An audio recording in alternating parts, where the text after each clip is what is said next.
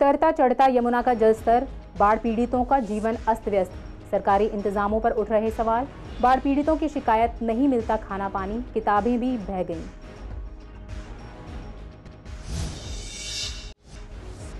जलभराव कम होने के बाद अब बीमारियों का खतरा, नगर निगम और आम आदमी पार्टी हाई अलर्ट पर। शैली ओबेरॉय ने अमले के साथ किया अस्पतालों का जायजा। अधिकारियों को दिए ज़रूरी निर्देश। शास्त्री पार्क में हत्या की गुत्थी सुलझी। बेला फार्म में मिला था युवक का शव।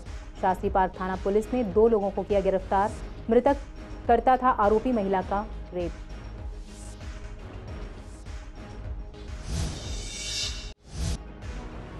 पुराना पुल अभी भी सड़क यातायात के लिए है बंद। पुल से निकल रहे हैं खतरनाक सांप। इसलिए अभी सिर्फ़ रेल यातायात ही चालू।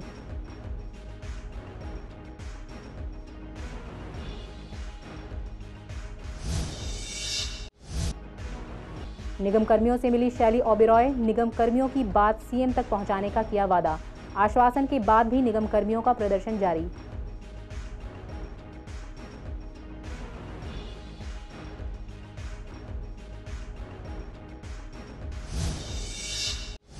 नमस्कार, स्वागत है आप सभी का। आप देख रहे हैं पूर्वी दिल्ली खास। मैं हूँ पूनम। वक्त हो चला है बुलेटिन का। रुख करते हैं खबरों की ओर। राजधानी में दो दिन के बाद यमुना के जलस्तर में फिर से बढ़ोतरी देखी गई है। यमुना का जलस्तर आज सोमवार सुबह सात बजे दो था, जो शाम पाँच बजे दो तक पहुँच गया। हालाँकि सरकार का कहना है कि डरने की ज़रूरत नहीं है, लेकिन हिमाचल और उत्तराखंड में अगले कुछ दिन के लिए किए गए बारिश के अलर्ट से आशंका ज़रूर है। अगर पर्वतीय इलाकों में बारिश हुई तो यमुना के जलस्तर में दोबारा बढ़ोतरी हो सकती है। फ़िलहाल बाढ़ के चलते बेघर हुए लोगों का जीवन अस्त व्यस्त है। पूर्वी दिल्ली के बाढ़ प्रभावित इलाके में हमारे संवाददाता मोहित शर्मा ने कुछ बाढ़ पीड़ितों से बात की। उन्होंने बताया कि सरकार की तरफ़ से उन्हें कोई सुविधा उपलब्ध नहीं हो रही है। न समय पर खाना मिल पा रहा है, न पानी। वहीं बारहवीं क्लास में पढ़ने वाली एक लड़की ने बताया कि बाढ़ में उनकी कॉपी किताबें भी बह गई हैं। अभी एग्ज़ाम है तो वह कैसे पढ़ें? सरकार की तरफ़ से कोई इंतज़ाम नहीं है, लाइट भी नहीं आती। इस बार कोई सुविधा नहीं दी जा रही है, बिल्कुल भी। और मैं एक हार्ट पेशेंट मरीज़ हूँ, मेरे को किसी भी चीज़ की सुविधा नहीं मिली है। और ना ही दवाई रोले का हिसाब किताब बन रहा है यहाँ पर। पानी का भी कोई टैंकर बोलेंगे तो आएगा नहीं तो वैसा अपनी मर्ज़ी से नहीं आ रहा टैंकर। मतलब सरकार की तरफ़ से आपको कोई नहीं नहीं सरकार की तरफ़ से हमारे को कोई सुविधा नहीं मिल रही है जनाब। तो खाना किस तरीके से आ रहा है? क्या खाना देखिए जी, जैसा कोई आ जाते हैं भाई साहब गाड़ी लेके लो भाई साहब खाना खा लो बस उसी में गुजारा करते हैं जी हम। बाकी और किसी चीज़ का गवर्नमेंट की तरफ़ से हमारे को अभी तक कोई सहूलत नहीं मिली है। नहीं कैंप क्या ये टेंट वेंट अब लग रहे हैं जी इससे पहले नहीं लगे थे टेंट। अच्छा मैं बताता हूँ आपके लिए। और बाकी जो है कि जो दिल्ली सरकार से मैं तो यही कहना चाहूँगा जो भी अपने हिसाब से गरीबों की सहायता करें तो उसमें ये है कि सबको बेनिफिट हो गरीब आदमी को जिसका सामान मतलब कहने का मतलब मेरी तरफ़ से बचा किसी का कुछ नहीं है।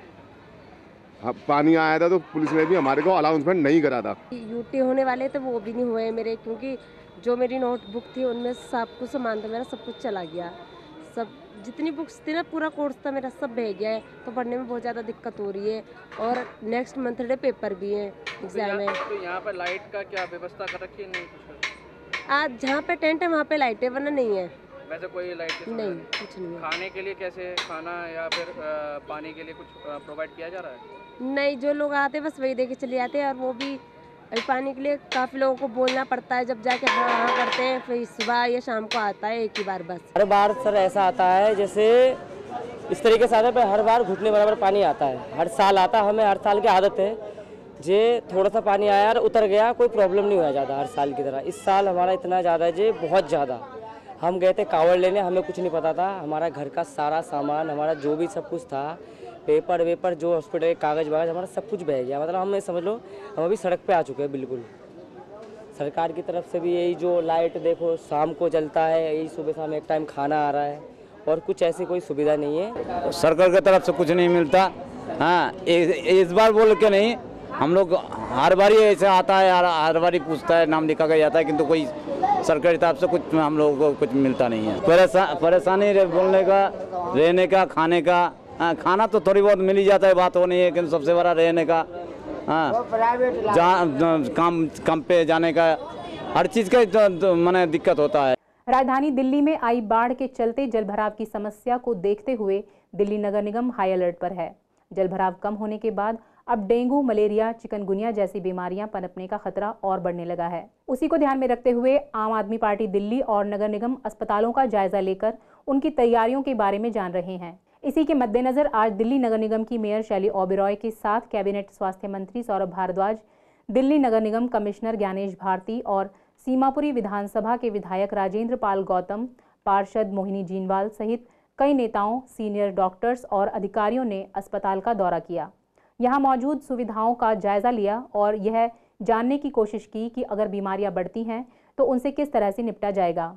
मीडिया से बात करते हुए स्वास्थ्य मंत्री सौरभ भारद्वाज ने कहा कि जहाँ कहीं भी मच्छरों की ब्रीडिंग पाई जाएगी, वहाँ सख्त कार्रवाई की जाएगी। अधिकारियों को भी यह सुनिश्चित करने के निर्देश दिए और लोगों से अपने आसपास जलभराव न होने देने की अपील की। इसके लिए सरकार कैंपेन भी चलाएगी। वहीं मेयर शैली ओबेरॉय ने कहा कि दिल्ली में डेंगू मलेरिया की आशंका को ध्यान में रखते हुए नगर निगम सजग है। पिछले एक हफ़्ते से जो दिल्ली है, पूरी यमुना का जो जल स्तर है, वो बढ़ गया था और जो पानी है, पूरी तरह से मेन रोड से आ गया था जगह जगह जल भराव था फ्लड वाली सिचुएशन आ गई थी। पर खुशी की बात अब ये है कि जो जल स्तर है वो अब कम हो चुका है और जिन जिन लोगों को हमने रिलीफ कैंप में भेजा था इवैक्यूएट करके, वहाँ पर भी सारी फैसिलिटीज़ प्रोवाइड कर रहे हैं। पर अब थोड़ा सा चिंता का विषय ये है कि पिछले साल के मुताबिक हो सकता है इस बार फ्लड को देखते हुए, इस बार जो डेंगू मलेरिया के जो केसेस हैं, वो ज़्यादा आए। तो अब दिल्ली सरकार और एनसीबी जितने भी हॉस्पिटल्स हैं और जितने भी डिपार्टमेंट्स हैं, आज सुबह ही मैंने जो सैनिटेशन डिपार्टमेंट है पब्लिक हेल्थ डिपार्टमेंट है, उसकी एक रिव्यू मीटिंग ली थी और इंस्ट्रक्शन दे दी गई हैं सैनिटेशन डिपार्टमेंट को और पब्लिक हेल्थ जो हमारा डिपार्टमेंट है, उनके जितने भी अधिकारी हैं कि हमारा जो एमसीडी का जो सबसे बड़ा अब हमारा जो काम रहेगा, जहाँ जहाँ से पानी रिसीव कर गया है, वहाँ पर साफ़ सफ़ाई का कि कहीं भी जो कूड़ा है वेस्ट है, जो पानी के साथ आया है, मिट्टी है, जो सिल्ट है स्लज है उन सब की सफ़ाई करना और साथ ही दवाइयों का छिड़काव करना कि कम से कम केसेस इस बार डेंगू मलेरिया के कर सकें। देखिए, अभी क्योंकि बरसात दिल्ली में काफ़ी हुई है, अप्रैल, मई, जून, तीनों महीनों में दिल्ली में बरसात हुई जो देखने में नहीं आती है। तो हमें संकेत है कि इस बार vector borne diseases dengue, malaria, chikungunya ज़्यादा हो सकते हैं। और क्योंकि अभी कई इलाकों में पानी भरा है, अब वो पानी उतर रहा है। तो इसके लिए सरकार और एमसीडी दोनों जो है चौकन्ने हैं। मलेरिया विभाग के डोमेस्टिक ब्रीडिंग चेकर्स को निर्देश दिए हैं और आज नहीं, एक हफ़्ते पहले ही दिए गए हैं। जिस मीटिंग के अंदर सभी डिपार्टमेंट्स को MCD NDMC cantt health Jal board flood सब विभागों को बुलाया गया था। मेट्रो की कहीं पे भी आपके ऑफ़िस के अंदर कहीं पे ब्रीडिंग ना हो, ये देखा जाए। पुलिस के मालखानों में देखा गया 20 परसेंट जगहों पे ब्रीडिंग पाई गई, वहाँ ना हो। और भी जो यार्ड्स होते हैं, जहाँ पे इस तरीके के पुराना सामान, पुरानी गाड़ियाँ वगैरह होती हैं, इसमें ब्रीडिंग ना हो। शास्त्रीबाग थाना पुलिस ने दो आरोपियों को गिरफ़्तार कर हत्या की गुत्थी सुलझा ली है। आपको बता दें कि कल बेला फार्म में एक अज्ञात युवक का शव मिला था। पुलिस के मुताबिक कल यानी 16 जुलाई को सुबह आठ बजकर चौंतीस मिनट पर सूचना मिली थी कि इलाके के बेला फार्म में एक युवक का शव फेंका हुआ है। घटनास्थल पर करीब 25 से 30 साल के पुरुष का शर्टलेस शव मिला। गर्दन और पेट पर धारदार हथियार से चोट के निशान थे। करीब 20 सीसीटीवी कैमरों की जाँच के बाद दो संदिग्धों की पहचान की गई और बाद में पता चला कि वे ही अपराधी हैं। मृतक की पहचान अबुजर उम्र 20 साल निवासी कासगंज यूपी के रूप में हुई है। दोनों आरोपियों की पहचान कर ली गई है और उन्हें पकड़ लिया गया है। आरोपियों में एक महिला है जिसका नाम सलमा है, जो कि 20 साल की है और बदायूं की रहने वाली है। वहीं दूसरा आरोपी 36 साल का इरफान डीडीए फ्लैट्स के पास शास्त्री पार्क दिल्ली का ही रहने वाला है। सलमा के पति अख्तियार की जनवरी 2023 में बीमारी के चलते मृत्यु हो गई थी।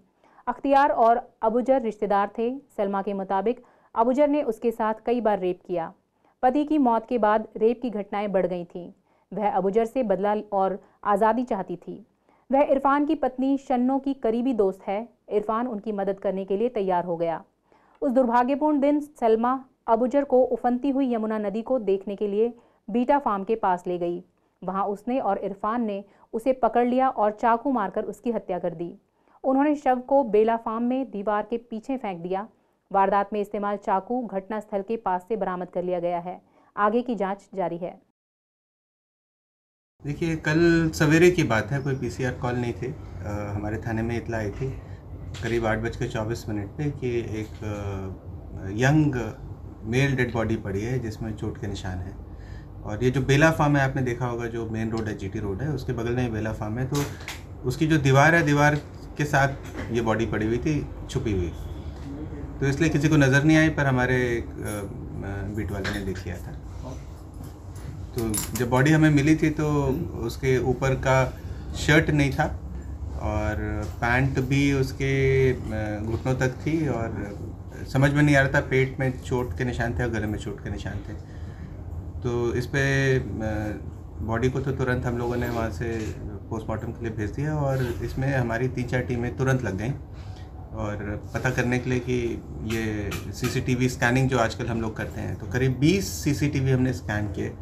तो उससे कुछ चीज़ें निकल कर आई कि एक रात पहले पंद्रह सोलह की रात यही लड़का हमें एक लड़की के साथ घूमता हुआ दिख रहा था, उसी सड़क पे काफ़ी देर घूमते हुए। तो उस छोटे से क्लू को बड़ी मेहनत से टीम ने बहुत ही शिद्दत के साथ एफर्ट करके फिर वो आइडेंटिफाई किया कि वो लड़की किसके साथ देखी गई थी, फिर वो लड़की एक और आदमी के साथ नज़र आई। तो बेस्ड ऑन दैट इन्फॉर्मेशन हमने वो जो आदमी है, वो लोकल है इरफान है, उसका नाम शास्त्री पार्क डीडीए फ्लैट के पास में रहता है, किराए पे। तो उसको पिक किया, उसी के घर में ये लड़की भी हमें मिल गई। और जो इन्होंने कहानी हमें सुनाई, वो बड़ी इंटरेस्टिंग है। ये लड़की बताती है कि इसकी उम्र 20 साल है, शादी को इसके लगभग दो साल हुए। इसका एक छोटा बच्चा भी है। और ये जो मरने वाला है, इसका नाम अबूजार है। तो इसका हस्बैंड था, अख्तियार, लड़की का नाम सलमा है। और ये लड़की कहती है कि जो अख्तियार जो मर गया और जो उसके हस्बैंड थे वो दोनों कज़न्स थे और हस्बैंड की डेथ अभी जनवरी के महीने में हो गई है तो बीमार रहते थे वो। तो ये हमेशा इनको सेक्सुअली तंग करता था।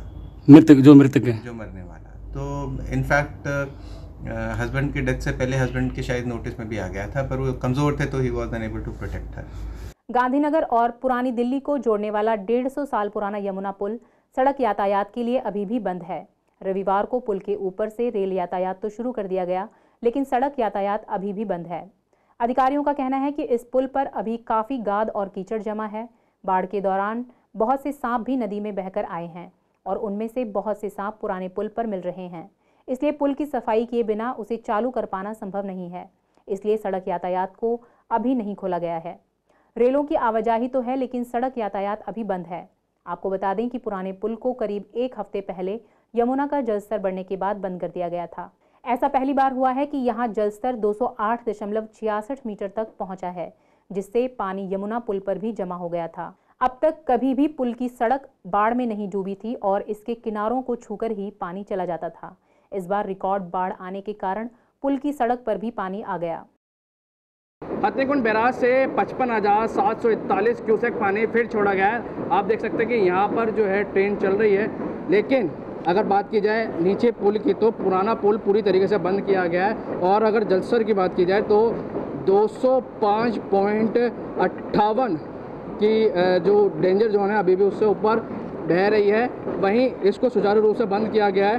प्रशासन का कहना है कि यहाँ पर जो है सांप निकल रहे हैं, जिस वजह से पूरी तरीके से बंद कर रखा है। अब तो आप इस चीज़ से अंदाज़ा लगाइए कि खतरा अभी टला नहीं है और समय समय पर जो है, अभी तक जो छोड़ा गया है, जो पानी की बात की जाए तो पचपन हज़ार सात सौ इकतालीस जो है, क्यूसेक पानी अब छोड़ा है। वीडियो जर्नलिस्ट अतुल के साथ मोहित शर्मा सेशन लाइव दिल्ली। निगम कर्मी अपनी मांगों को लेकर अब भी धरने पर बैठे हैं। उनका कहना है कि पिछले करीब 40 दिनों से लगातार सीएम हाउस पर हड़ताल जारी है। इस प्रदर्शन में उन्होंने मुख्यमंत्री की शव यात्रा भी निकाली थी और अब ये कर्मचारी मेयर शैली ओबेरॉय की शव यात्रा निकालना चाह रहे थे। लेकिन उससे पहले ही मेयर ने इन कर्मचारियों से मुलाकात की और उनकी मांगों को मुख्यमंत्री तक पहुँचाने का वादा किया। लेकिन उस आश्वासन के बाद भी निगम कर्मियों का प्रदर्शन जारी है। देखिए, आज सात जून से जो हमारा धरना चल रहा है सीएम आवास पर, उसको चलते हुए आज चालीसवा दिन जारी है, अनिश्चितकालीन जारी धरने का। जैसा हमने कहा था कि 10 तारीख को सिविक सेंटर में मेयर साहिबा का शव यात्रा निकालेंगे तो उसमें ग्यारह तारीख को मेयर साहिबा ने मीटिंग का समय दिया और मीटिंग ली। जिस मीटिंग में एक हफ़्ते का समय मांगा है कि जो कच्चे से पक्के होने वाली मांग है, उसको हम बारह जोनों में जितना भी संख्या में फाइलें कंप्लीट हैं, हम उनको शीघ्र पक्का कर रहे हैं और ये प्रतिक्रिया जारी करेंगे। अभी एक हफ़्ता होने में समय है क्योंकि ये बीच में दो तीन दिन बाढ़ के भी चले गए हैं। अब 25 तारीख को 25 जुलाई को हम सिविक सेंटर पर कमिश्नर महोदय के यहाँ विराट प्रदर्शन करेंगे। मेयर का भी एक शव यात्रा निकाली थी, बारह तारीख को निकालनी थी। लेकिन उससे पहले मेयर ने हमसे ग्यारह तारीख को मीटिंग ली।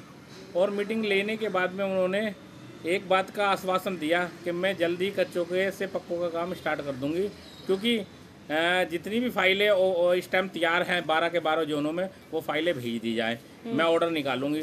तो इस पर हमने भी कहा कि आप केजरीवाल साहब को अपना वायदा याद दिलाएँ। तो हमने कहा मेयर साहब आप अपने वायदे को केजरीवाल तक पहुंचाएँ जिससे कि हम लोग शांतिपूर्ण तरीके से तब तक हमारी बातों को नहीं सुना जाएगा तब तक मांग पूरी नहीं होगी। हम लोग धरने पे बाद दस्तूर बैठे रहेंगे। अध्यादेश के मामले में कांग्रेस आम आदमी पार्टी के साथ आने को तैयार हो गई है लेकिन साथ ही उसके नेताओं का कहना है कि इसका मतलब यह नहीं कि वह आपका विरोध नहीं करेगी।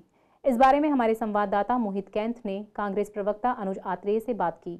उनका कहना है कि जिस तरह से दिल्ली सरकार के सर्विस डिपार्टमेंट पर केंद्र सरकार ने अपना अधिकार जमाना चाहा है, सुप्रीम कोर्ट ने भी इसको उचित नहीं समझा।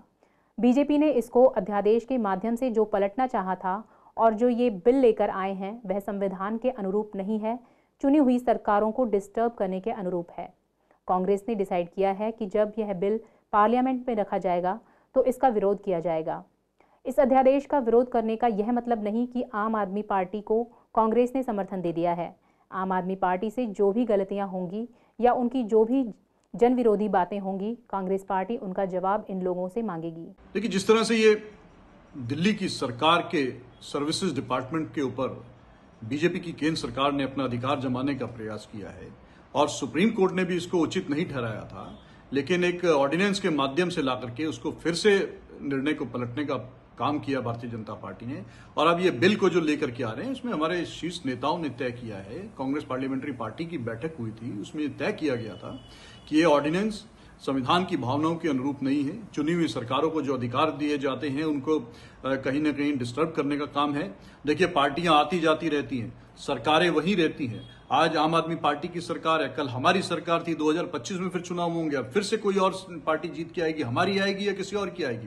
लेकिन जनता के अधिकारों का और जो डेमोक्रेसी में चुनी हुई सरकार के अधिकारों का हनन नहीं होना चाहिए, उसको देखते हुए कांग्रेस के हमारे सीनियर लीडरशिप ने तय किया है कि इस अध्यादेश का जब भी ये पार्लियामेंट में इस सेशन में इंट्रोड्यूस होगा, इसका विरोध किया जाएगा। लेकिन इस अध्यादेश के विरोध में आने का मतलब कतई ये नहीं है कि आम आदमी पार्टी को समर्थन किसी प्रकार का दे दिया गया है।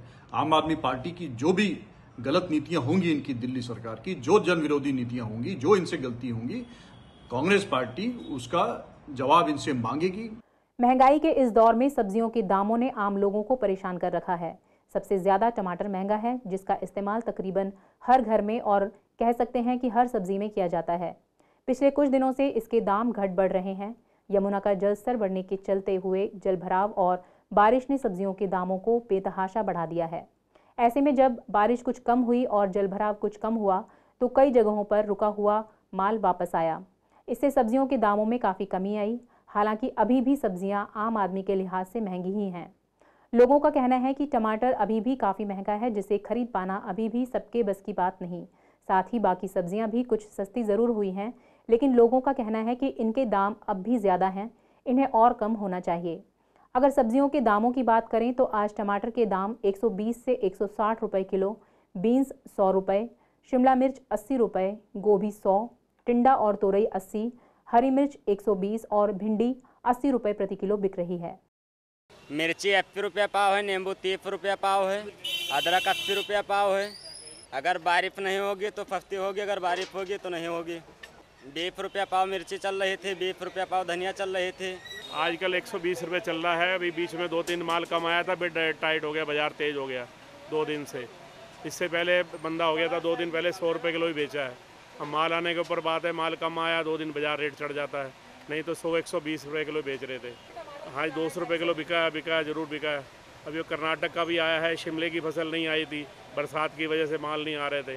अब माल आना शुरू हो रहे हैं तो रेट थोड़ा बहुत डाउन हो रहा है। हो जाएगा, माल आने के ऊपर बात है। जब रास्ते खुल गए शिमले के तो माल धीरे धीरे आना शुरू होगा। बाढ़ की वजह से हुई फ़सल कम होगी, आधी फ़सल खराब हो गई है तो रुपये में चार आने माल आ रहा है।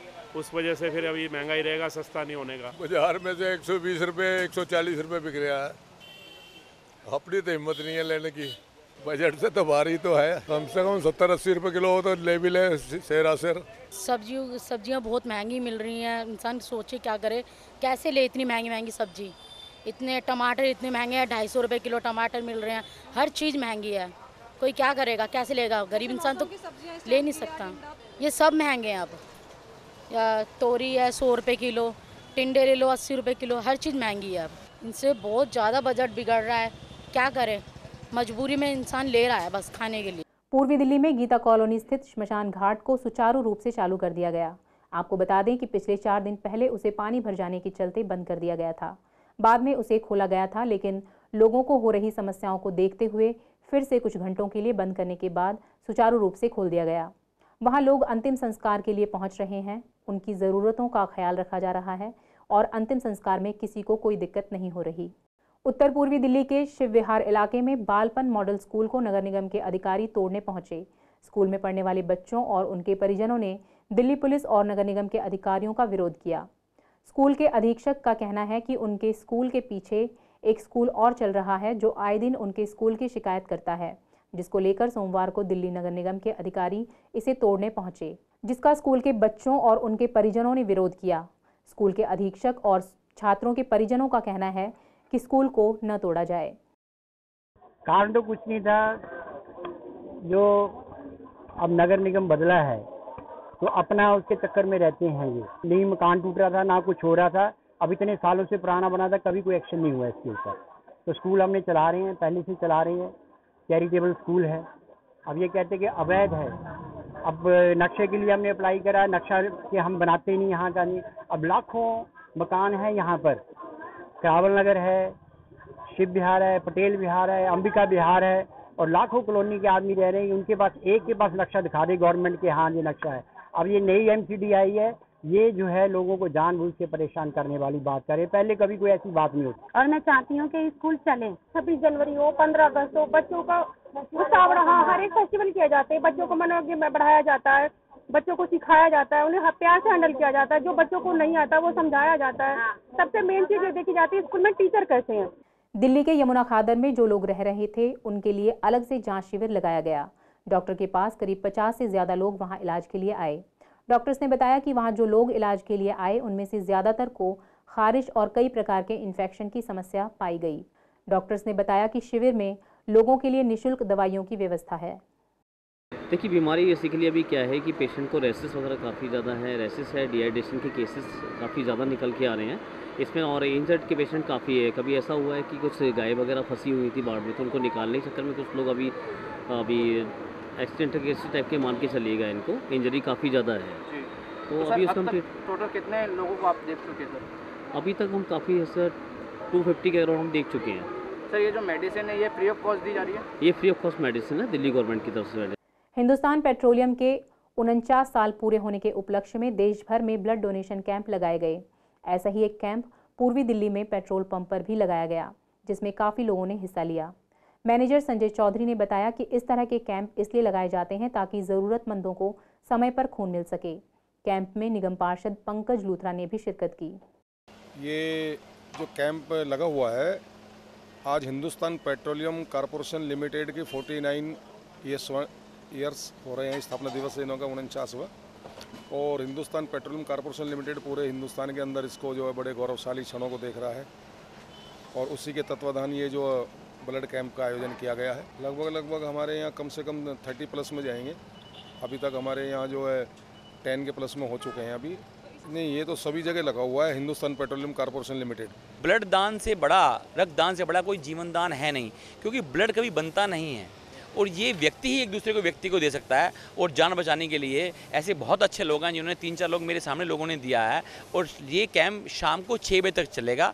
मैं धन्यवाद करता हूँ हमारे बत्रा जी का, जिनका ये पेट्रोल पंप है और उन सभी स्टाफ का, जिन्होंने इतनी कड़ी मेहनत से धूप में खड़े होकर ये कार्य कराया है। वाकई में सब बधाई के पात्र हैं और मैं समझता हूँ सभी लोगों को समय समय पर ब्लड दान देना चाहिए। खून दिया हमने और कार्ड मिला है हमें ये। हमारे जो पंप के मैनेजर है, उन्होंने बताया। हम यहाँ पिंचर का काम करते हैं। टायर पंचर का। उन्होंने बताया खून डोनेट करना है। नहीं मतलब मुझे जब बताया गया तो मैं तो खुद से बोला कि मैं दे दूँगा। इससे हमें भी फ़ायदा है ताकि हमारा जो ब्लड है औरों को मिलेगा। इस कार्ड से हमें ये भी फ़ायदा है कि हमें भी आगे चल के फ्री में मिल जाएगा कार्ड कार्ड देने की वजह से। फ़िलहाल इस बुलेटिन में इतना ही। आगे खबरों के लिए बने रहिए सीसीएन के साथ। नमस्कार।